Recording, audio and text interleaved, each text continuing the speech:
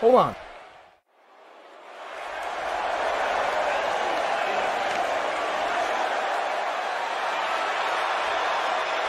Look, I know that maybe I was one of the reasons that you are in the spot that you're in.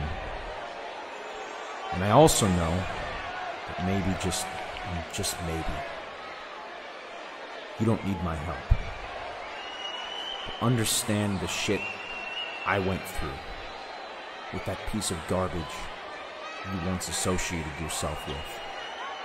And understand that I will be there to even out that playing field in spite of him. Looks like Jimmy Atom's joining the match ringside.